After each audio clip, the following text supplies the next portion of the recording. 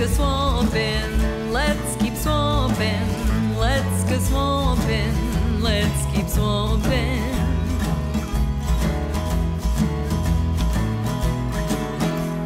Let's go on a swamp girl adventure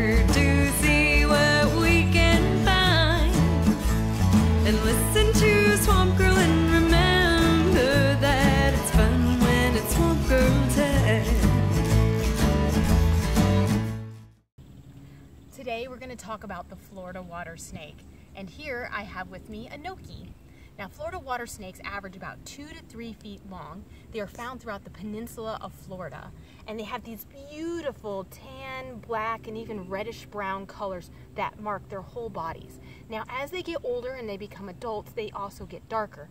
Now in this case, we're going to go ahead and put them down in the water. It makes his colors a little bit brighter so we can see them a little better. Ooh, it's cold.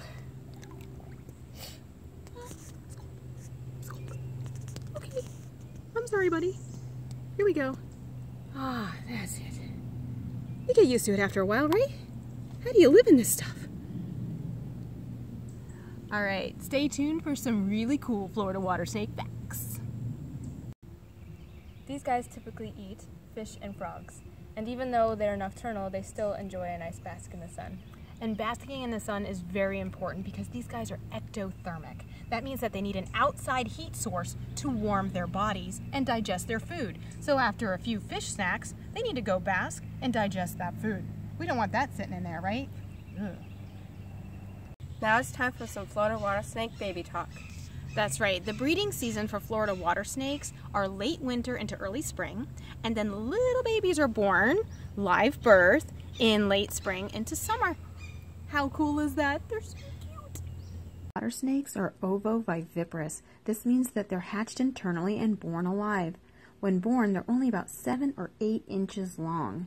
Now this one's a little older at about 6 months old. Swimming with the snakes. Swimming with the snakes. Wait, guys, I want to swim with the snakes too.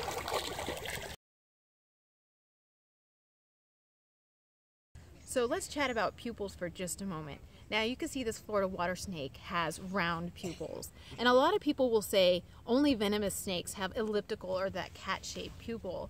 But that's not true because even boas and pythons have that elliptical shaped pupil and they're not venomous, right? But here in Florida, we do also have the coral snake, and that's an elapid. They're related to the cobras, and they have round pupils, but they are venomous. So we can't always rely on the eye shape to tell us whether or not a snake is venomous. Right? That's right, Anoki. Here is a comparison of the Florida water snake and the cottonmouth. First, we have the cottonmouth, a venomous snake also known as a water moccasin. And here we have the non-venomous Florida water snake. You can also visit our website for the Venomous Snakes of Florida Snake ID card. It shows you all six venomous snakes of Florida. Our goal is not to make you love snakes, but all we ask is that you respect them and the role that they play in our ecosystem. Thank you for tuning in and stay tuned for more Swamp Girl adventures. Thanks for helping with the video, little buddy. Time to go.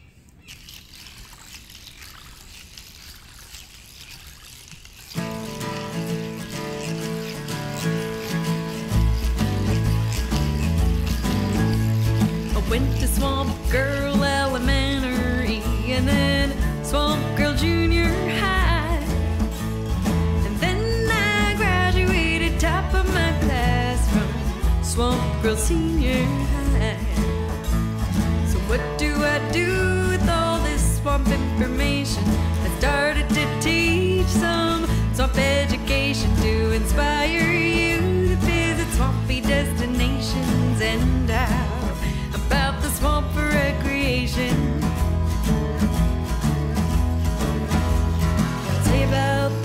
Blossoms and I'll tell you about the blossoms and I'll tell you about the spiders and the raccoons and sizers and I'll show you some gators and all the birds that we call waders and I'll show you all the swampy critters like boars and bugs and snakes and mosquitoes.